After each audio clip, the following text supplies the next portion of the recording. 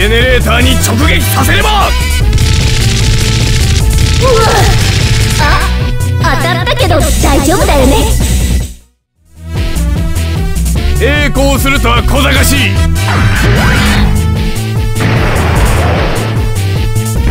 身長57メートル体重550トンは伊達じゃねえぜ。わざわざ落とされに来たか！スのコンバトラーすごいや。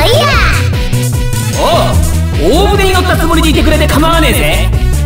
泥船の間違いとちゃうやろな。消えろ。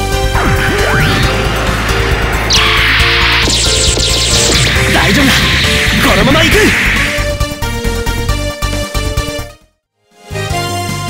いい腕だが相手が悪かったな。おっとそうは問屋が